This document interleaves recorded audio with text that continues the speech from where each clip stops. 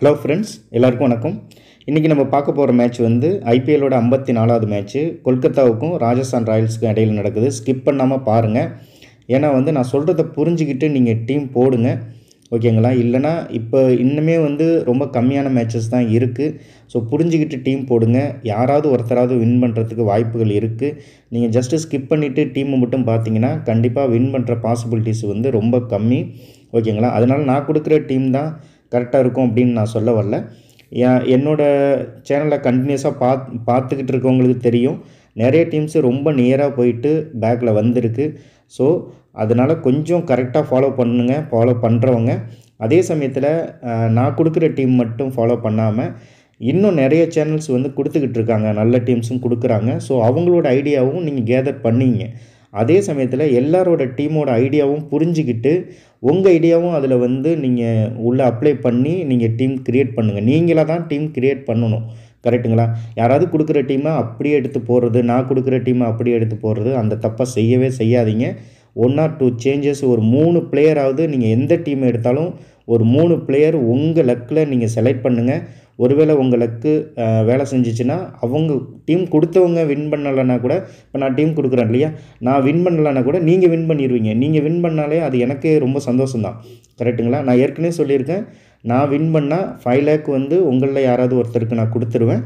So அந்த மாதிரி யாருக்காவது லக் அடிக்க தான் பார்ப்போம். ஏன்னா ட்ரை பண்ணுறதுன்றது கடைசி வரைக்கும் ட்ரை பண்ணணும். மிடில்லையோ இல்லை ஒரு ஒரு நைன்ட்டி பர்சன்ட் ட்ரை பண்ணிவிட்டு டென் பர்சன்ட் விட்டிங்கன்னா அந்த டென் பர்சன்டேஜில் உங்களுக்கு வந்து லக் இருந்து அடிக்காமல் இப்போ வந்து இவ்வளோ மேட்ச் விளையாண்டுட்டோம். இதுக்கு பிறகு வந்து என்ன ஜெயிச்சிடவா போகிறோம் ஐம்பத்தி நாலு மேட்ச் இதோட ஐம்பத்தி மூணு மேட்ச் ஆச்சு. இன்னும் வந்து ஒரு ஏழு மேட்ச் இருக்குது இந்த மேட்சோட சேர்த்து. ஸோ இதில் வின் பண்ண போகிறோம் அப்படின்னு விட்டுட்டிங்கன்னா விடுறவங்க விடுங்க. அதாவது விளையாட முடியல ப்ரோ எனக்கு வந்து டீம் போட முடியல. அந்தளவுக்கு காசு இல்லை இது வரைக்கும் இருந்த காசெல்லாம் போயிடுச்சு. ஓகே. பட் ஆனால் கடைசி வரைக்கும் ட்ரை பண்ணும்போது தான் ஏதாவது ஒரு லக்கில் உங்களுக்கு கிடச்சிடுச்சுன்னா அதோட அதோட இது வந்து உங்களுக்கே தெரியும். எவ்வளோ அமௌண்ட்டு கிடைக்கிது என்னன்னு. முடிஞ்ச வரைக்கும் ட்ரை பண்ணுங்கள் ஓகே. நமக்கு லக்கும் இருக்கணும் கடவுளையும் வேண்டிங்க. ஓகே. ஏன் நான் வின் பண்ணால் கண்டிப்பாக ஃபைவ் லேக் வந்து உங்களுக்கு நான் இந்த அக்கௌண்ட்டில் இல்லை இன்னொரு அக்கௌண்ட்டில் நான் வின் பண்ணால் கூட நான் ரெண்டு அக்கௌண்ட் மூணு அக்கௌண்ட்டு ட்ரை பண்ணும்போது அதில் வின் பண்ணால் கூட வித் ப்ரூஃபோட நான் வீடியோ போட்டு உங்களுக்கு நான் ஃபைவ் லேக் கொடுத்துருவேன். ஓகே நான் வந்து வின் பண்ணுவேன்னு சொல்லலை. உடனே வந்து ஃபஸ்ட்டு வின் பண்ணுங்கள் ப்ரோ அப்படின்னு சொல்லாதீங்க. மேபி வின் பண்ணுனா ஓகேவா வின் பண்ணால் கண்டிப்பாக கொடுப்பேன். அதனால் வின் பண்ணிடுவேன்னு சொல்லலை. முடிஞ்ச வரைக்கும் நானும் ட்ரை பண்ணுறேன் ஓகே நம்ம இன்றைக்கி மேட்சை பற்றி பார்க்கலாம். இது ஃபஸ்ட்டு டீமு ஓகே நம்ம டீம் பார்க்குறதுக்கு முன்னாடி அந்த கொஞ்சம் யார் யார் விளையாடுறாங்கன்னு கொஞ்சம் பார்த்துடலாம். ஓகே நம்ம வீடியோ ஃபஸ்ட் டைம் பார்க்குறீங்க அப்படின்னா இந்த ஸ்க்ரீனில் தெரிகிற இந்த ஆப்போட லிங்க் வந்து கீழே இருக்குது அதை டவுன்லோட் பண்ணி யூஸ் பண்ணுங்கள் ஐம்பத்தி நாலாவது மேட்ச்சு ஆக்சுவலாக பார்த்தீங்கன்னா ஐம்பத்தி மூணாவது மேட்ச்சுக்கு டீம் கொடுத்துருக்காங்க. ஐம்பத்தி நாலாவது மேட்ச்சுக்கு இன்னும் டீம் கொடுக்கல. மேட்ச் ஸ்டார்ட் பண்ணுறதுக்கு முன்னாடி டீம் கொடுத்துருவாங்க. பார்த்துங்க. ஓகே இதில் என்ன சொல்லியிருக்காங்கன்னு பார்த்துடலாம். இப்போ வந்து பார்த்திங்கன்னா கொல்கத்தாவில் வந்து கிருஷ்ணா அவருக்கு பதில் சிவம் மவி அவர் வர்றதுக்கு வாய்ப்பு இருக்குது அப்படின்ற மாதிரி சொல்லியிருக்காங்க. மேக்ஸிமம் ராஜஸ்தான் ராயல்ஸில் சேஞ்சஸ் எதுவும் இல்லை. சேஞ்சஸ் ரொம்ப இருக்காது. அப்படியே இருந்தால் கூட பவுலர்ஸில் யாராவது இருக்க வாய்ப்பு இருக்குது இன்னொரு முக்கியமான விஷயம் லாஸ்ட் மேட்ச்சில் ட்ரிப்பாட்டியை நம்ம ட்ரை பண்ணணும். அவர் வந்து ஏழாவது பேட்ஸ்மேன் அந்த ரேஞ்சுக்கு போயிட்டார். ஆனால் இன்றைக்கி வந்து கிரிக்பூர் ஷாப்பில் வந்து அவரை மூணாவது பிளேஸில் போட்டிருக்காங்க. மேபி அவர் ஒன் டவுன் இறங்கலாம் இல்லை ஓப்பனராக கூட இறங்கலாம். ஸோ அந்த பேசிஸில் தான் நான் டீம் கொடுக்க போகிறேன் சப்போஸ் வந்து டாஸ் போட்டது பிறகு ட்ரிப்பாட்டி இறங்க மாட்டாருன்ற மாதிரி ஏதாவது உங்களுக்கு தோணுச்சு இல்லை வந்து அந்த கிரிக்பு ஷாப்பில் பேக்கில் கொண்டு போட்டிருந்தாங்கன்னா நீங்கள் வந்து அவர் இடத்துல யார் இருக்காங்களோ மூணாவது பிளேஸில் அவங்கள ட்ரை பண்ணுங்கள் ஓகேங்களா ஸோ அவர் இறங்குவாருன்னு நம்பி நான் டீம் கொடுக்குறேன். அதை பார்த்துங்க. இது வந்து துபாயில் தான் நடக்குது. ஸோ அதனால் பேலன்ஸ்டு பிச்சு தான். துபாயை பொறுத்த வரைக்கும் நான் இது வரைக்கும் இது இது இதுக்கு முன்னாடி நடந்த மேட்சஸ் எல்லாம் போய் பார்த்தீங்கன்னா ஃபஸ்ட் ஹாஃப் கொஞ்சம் நல்லா இருந்திருக்கு. செகண்ட் ஹாஃபில் வந்து டாப் ஆர்டரில் ரெண்டு மூணு பேர் அவுட் ஆகிடுறாங்க இந்த மாதிரி நடந்திருக்கு. சில டைம் வந்து ஃபஸ்ட் ஹாஃப் செகண்ட் ஹாஃப் மாதிரியும் செகண்ட் ஹாஃப் ஃபஸ்ட் ஹாஃப் மாதிரியும் நடந்திருக்கு. அதே சமயத்தில் மேக்ஸிமம் ஆவரேஜாக வந்து ஒன் ஃபிஃப்டிலேருந்து ஒன் சிக்ஸ்டி ஸ்கோர் வந்து வந்திருக்கு. நீங்கள் வேணால் கிரிக் ஷாப்பில் போய் துபாய் இந்த ஸ்டேடியத்தில் நடந்த எல்லா மேட்சையும் பாருங்கள் அதுலேயே உங்களுக்கு புரிஞ்சிடும் ஒன் ஆர் டூ மேட்ச் வந்து டாப் ஆர்டர் ரெண்டு சைடுமே அவுட் ஆகியிருக்காங்க ரொம்ப கம்மியான ஒன் டுவெண்ட்டி அந்த ரேஞ்சிலேலாம் கூட அவுட் ஆகி வந்து ரன் இருந்திருக்கு. ஸோ எது வேணாலும் நடக்கலாம். ஸோ நம்ம பொறுத்துன்னு தான் பார்க்கணும். ஸோ எல்லா ஐடியாவும் யூஸ் பண்ணி நம்ம வந்து மேக்ஸிமம் வந்து ஒன் சைடாக டீம் போயிருக்கு. அதாவது ஒரு சைடு கொஞ்சம் ஸ்ட்ராங்காகவும் ஒரு சைடு கொஞ்சம் அவுட் ஆகிற மாதிரியும் போயிருக்கு. ஸோ அதை க பேஸ் பண்ணி நம்ம டீம் எடுக்கலாம். ஓகேங்களா கிளைமேட் ஒன்றும் பிரச்சனை இல்லை. ஹெட்டு ஹெட்டு பார்த்தீங்கன்னா ரெண்டு பேரும் ஈக்குவலாக தான் இருக்காங்க. ஸோ நம்ம ரெண்டு பேருக்கும் இம்பார்ட்டன்ஸ் தான் கொடுத்தாகணும். வேறு வழி கிடையாது. ஓகே நம்ம டீமை போய் பார்த்துடலாம். ஓகே இது வந்து என்னோடய ஃபஸ்ட்டு டீமு ஃபஸ்ட்டு டீமில் நான் ட்ரிப்பாட்டி ஒன் டவுன் இறங்குறதா வச்சுக்கிறேன். ஸோ நான் ரிஸ்க் எடுக்கிறது அவரை தான் ரிஸ்க் எடுக்க போகிறேன் இன்றைக்கி நீங்கள் கேப்டனை கில்லுக்கு கொடுங்க. நீங்கள் யாருக்கு வேணாலும் கொடுத்துங்க. இல்லை பென் ஸ்டோக்கு கொடுங்க. ஏன்னா லாஸ்ட்டு ரெண்டு மேட்சாக அவர் நல்லா பர்ஃபார்ம் பண்ணிக்கிட்டு இருக்காரு. நான் வந்து ட்ரிப்பாட்டியை கொடுக்குறேன். நான் இப்போ எப்படி எடுத்திருக்கேன்னா கொல்கத்தா வந்து நல்லா வந்து ரன் அடிக்கிறாங்க. அதே சமயத்தில் ஆர்ஆர் வந்து ரன் அடிக்கிறாங்க. ஆனால் இருந்தாலும் டாப் ஆடுறது கொஞ்சம் டிஸ்டர்ப் ஆகுது. அதாவது ரெண்டு விக்கெட் விழுந்துருது. அப்போது என்ன பிளான் பண்ணியிருக்கேன்னா ஸ்டோக்கை மட்டும் டாப் ஆர்டரில் ஒருத்தரை எடுத்துட்டேன். அடுத்து பட்லர் இவ்வளோ தான் நான் எடுத்திருக்கேன். கட்டுங்களா இங்கே திவேதியாவை கொஞ்சம் பேர் வந்து ரொம்ப பர்சன்டேஜ் கம்மியாக பிக் பண்ணியிருக்காங்க. ஸோ லாஸ்ட்டாக uh, நடந்த மேட்சஸில் முன்னாடி நல்லா பர்ஃபார்ம் பண்ணிகிட்டு இருந்தார்.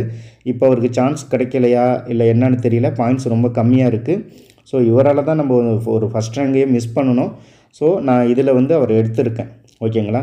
ஸோ இங்கே வைஸ் கேப்டன் வந்து நரேனை கொடுத்துருக்கேன். மேபி நரேன் வந்து நல்லா பர்ஃபார்ம் பண்ண வாய்ப்பு இருக்குது அந்த மாதிரி கான்செப்டில் எடுத்திருக்கேன். மார்கன் வந்து ஒரு ஒரு சேஃபுக்கு வச்சுருக்கேன். ஓகேங்களா? இங்கே கீழே பார்த்தீங்கன்னா ஆர்ச்சர் எல்லாருமே எடுப்பீங்க. ஃபெர்குஷனை நான் எடுத்திருக்கேன். லாஸ்ட்டு மேட்சஸ்லாம் ஸ்டார்டிங்கில் இருந்த மாதிரி இல்லை. இருந்தாலும் ஒரு ஸ்கில்லை எடுத்திருக்கேன். அடுத்து சக்கரவர்த்தி எல்லாருமே எடுத்திருப்பீங்க. நானும் எடுத்திருக்கேன். நீங்கள் எடுக்க வேண்டாம்னு நினச்சிங்கன்னா மாற்றிங்க அடுத்தது வந்து ஆரோன். வி. ஆரோன் வந்து லாஸ்ட்டு மேட்ச்சில் உள்ளே வந்தார். ஒன்றும் பெருசாக பர்ஃபார்ம் இல்லை. ஆனால் அவரோட பவுலிங்கில் பார்த்தீங்கன்னா ரெண்டு கேட்சும் என்னமோ மிஸ் பண்ணியிருக்காங்க. ஓகேவா ஸோ விக்கெட்டு விழுவ வேண்டியது ஒருவேளை ரெண்டு கேட்சும் பிடிச்சிருந்தாங்கன்னா இப்போ உடனே என்ன பண்ணியிருப்போம்னா போன மேட்ச்சில் ரெண்டு விக்கெட் எடுத்ததுனால அவரோட பர்சன்டேஜ் பார்த்திங்கன்னா ரொம்ப ஜாஸ்தி இருந்திருக்கும். உடனே அவரை வந்து ஒரு முக்கியமான பவுலர் மாதிரி உள்ளே கொண்டாந்து போட்டிருப்போம். கரெக்டுங்களா ஸோ அது மிஸ் பண்ணதுனால விக்கெட் எடுக்காததுனால அவரோட பர்சன்டேஜ் ரொம்ப கம்மியாக இருக்குது ஸோ நான் வந்து எடுத்திருக்கேன். நீங்கள் வேணால் வேறு பவுலரை எடுத்துங்க. ஏன் ஃபஸ்ட்டு டீமில் இவ்வளோ எக்ஸ்பிளைன் பண்ணுறேன்னா அப்போ தான் அடுத்த டீம் போகும்போது உங்களுக்கு புரியும். தயவுசெய்து அதனால தான் நான் சொல்கிறத புரிஞ்சுங்கன்னு சொல்கிறது ட்ரை பண்ணுங்கள் பொறுமையாக கேளுங்க ஸ்கிப் பண்ணாதீங்கன்னு சொல்கிறது ஓகேவா இது ஃபஸ்ட்டு டீமு நான் ஒரு ஆறு டீம் வரைக்குமே ட்ரிப்பாட்டியை மட்டுமே ட்ரை பண்ணுறேன் இங்கே கில்லு வச்சுருக்கேன் கவனிங்க. அடுத்து ரெண்டாவது டீமு ரெண்டாவது டீமில் நான் ஃபஸ்ட்டு டீமில் வந்து பட்லர் வச்சுருந்தேன். இங்கே சாம்சன் வச்சுருக்கேன். ஏன்னா சாம்சனா பட்லரான்றதே நிறைய பேருக்கு யாரை வைக்கிறதுன்றது ஒரு டவுட்டாகவே இருக்குது ஸோ ரெண்டு பேரையுமே நான் ஒரு ஆப்ஷன் கொடுத்துட்டேன். சேம் டீம் தான் எந்த சேஞ்சஸும் இல்லை. அதான் ரெண்டாவது டீமு பட்லருக்கு பதில் சாம்சனை கொடுத்துருக்கேன் கேப்டன் வந்து ட்ரிப்பாட்டி நரேன். ட்ரிப்பாட்டி ஸ்டார்டிங்கில் இறங்க மாட்டார்னா கண்டிப்பாக அவரை போடாதீங்க டீமில் டீம் விட்டு அவரை அவரை டீமில் போடுறீங்களோ இல்லையோ பட் கேப்டனாக போடாதீங்க. ஏன்னா அவருக்கு சான்ஸ் குறைஞ்சிரும். ஓகேங்களா பேட்டிங் சான்ஸு அப்போ நீங்கள் கில்லையோ ராணாவையோ ட்ரை பண்ணுங்கள் ஓகேங்களா இங்கே வந்து கில்லு வச்சுருக்கேன். பார்த்துங்க கவனிச்சிங்க. ரெண்டு டீம்லேயும் கில்லு இருக்காரு. மூணாவது டீமு மூணாவது டீமில் நான் என்ன பண்ணிட்டேன்னா ரொம்ப ரிஸ்க் எடுத்து ஸ்டோக்ஸை வந்து ரிமூவ் பண்ணிட்டேன். ஏன்னா ரெண்டு மேட்சை நல்லா பர்ஃபார்ம் பண்ணியிருக்காரு. ஒருவேளை இந்த மேட்ச்சில் அவருக்கு சொதப்புறதுக்கு வாய்ப்பு இருக்குது ஒருவேளை டக் அவுட் ஆகுறாருன்னு வச்சுங்களேன். அதே போல் டக் அவுட் ஆகி ஆகிட்டார் அதே சமயத்தில் விக்கெட்டும் எதுவும் எடுக்கலை அப்படின்னா அவர் எடுத்திருக்கிறதுல எந்த யூஸும் இருக்காது. கரெக்டாக ஸோ எது வேணாலும் நடக்கலாம். ஏன்னா ரெண்டு மேட்சை நல்லா பர்ஃபார்ம் பண்ணியிருக்காரு. இந்த மேட்ச் பர்ஃபார்ம் பண்ண மாட்டார்னு சொல்லலை.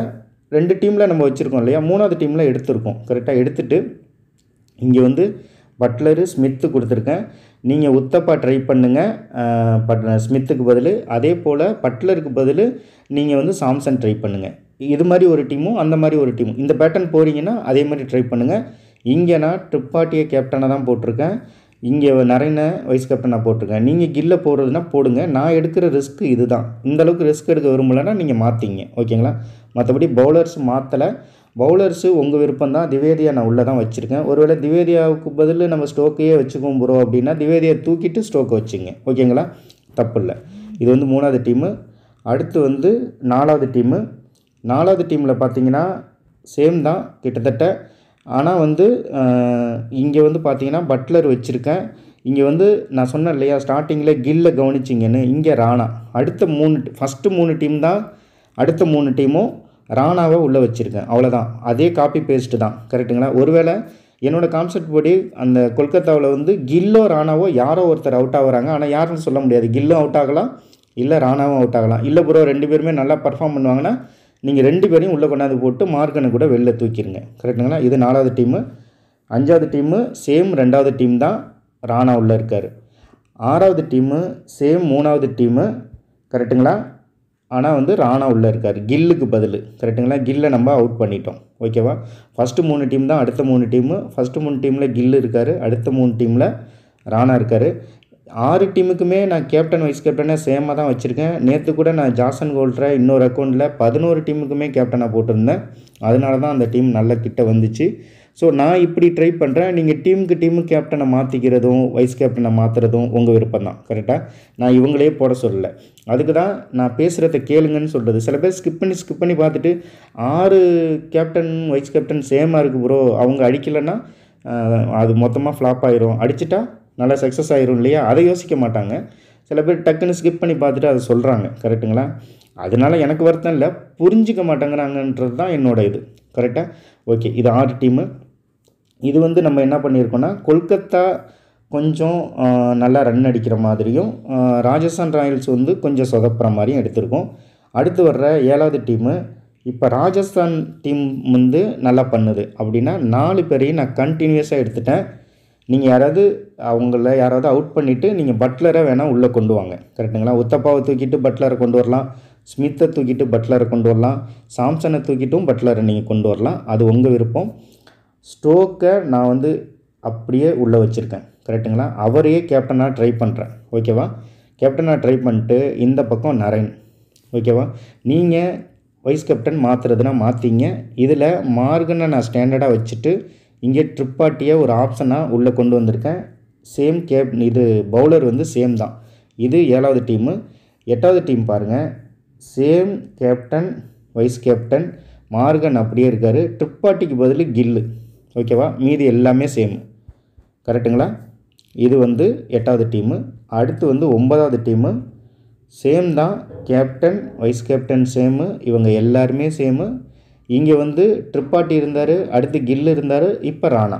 ஆனால் மார்கன் மாறவே இல்லை பார்த்துங்க கரெக்டுங்களா ஸோ பவுலர்ஸும் மாறல. பவுலர்ஸ் நீங்கள் ஒவ்வொரு டீமுக்கும் மாற்றிக்கிட்டே இருக்குதுன்னா மாற்றிக்கிட்டே இருங்க. ஏன் மாத் மாற்றிக்கிட்டே இருக்கக்கூடாதுன்னா நீங்கள் ஒரு பிளான் பண்ணி ஒரு நாலு பவுலரை போட்டிங்கன்னா அவங்க கரெக்டாக பர்ஃபார்ம் பண்ணிட்டா எல்லா டீம்லேயும் அவங்க இருக்கும்போது கண்டிப்பாக ஏதாவது ஒரு டீம் நல்ல இதாகும் போது அந்த பவுலர்னால அந்த டீம் மேலே வந்துடும் ஓகேவா இது ஒம்பது ஒம்பதாவது டீமு அடுத்து வந்து பத்தாவது டீம் நான் என்ன பண்ணியிருக்கேன்னா கொஞ்சம் வந்து கார்த்திக் அவரை வந்து நம்ம கண்டுக்கவே இல்லை. ஸோ அதனால் அவரை எப்படியாவது மேலே கொண்டு வரலாம் அப்படின்ற ஒரு கான்செப்டில் அவரை வச்சுட்டு இ மார்கனை இங்கே வச்சுட்டு அதே கேப்டன் வைஸ் கேப்டனை ட்ரை பண்ணியிருக்கேன் நீங்கள் இவங்களில் யாராவது ஒருத்தர் ரெண்டு பேர் இங்கே வந்து பட்லரை நீங்கள் ட்ரை பண்ணலாம். ஒத்தப்பாவை தூக்கிட்டு கூட இங்கே பட்லர் வச்சு மூணு கீப்பர் வர மாதிரி ட்ரை பண்ணலாம். ஓகேவா அப்படியும் யோசிங்க. பவுலர் வந்து நாலு பேர் தேவையில்லைன்னா நீங்கள் இன்னும் ஒருத்தரை கூட குறைச்சிங்க. கரெக்டுங்களா ஏன்னா இதில் கொஞ்சம் நீங்கள் அபுதாபியை விட இதில் வந்து பார்த்தீங்கன்னா கொஞ்சம் விக்கெட் விழுகுது அபுதாபியில் நல்லா ரன்னு வருது. துபாயில் வந்து கொஞ்சம் விக்கெட்டும் விழுகுது. அதனால் ஷார்ஜாவை விட இங்கே அதிகமாக தான் விக்கெட் விழுகுது அதிகமாக இல்லை. கொஞ்சம் கம்மியாக ஓரளவுக்கு மிடிலாக அதாவது ஷார்ஜாவுக்கும் உங்களுக்கு அபுதாபிக்கும் இடையில வந்து துபாய் இருக்குது அந்த மாதிரி விக்கெட் விக்கெட்டு கான்செப்டில் கரெக்டுங்களா அதை புரிஞ்சுங்க. இது வந்து பத்தாவது டீமு அடுத்து பதினோராவது டீமில் சேமாக தான் வச்சுருக்கேன். இங்கே இ. மார்கன் இருந்த இடத்துல ட்ரிப்பாட்டியை கொண்டு வந்திருக்கேன். அவ்வளோதான் captain vice captain same bowlers இங்கே பேட்டிங்கு சாம்சனு கார்த்திக்கு கார்த்திகை லாஸ்ட்டு ரெண்டு டீமில் உள்ளே கொண்டு வந்திருக்கேன். அவ்வளோதான் வேறு எதுவுமே கிடையாது.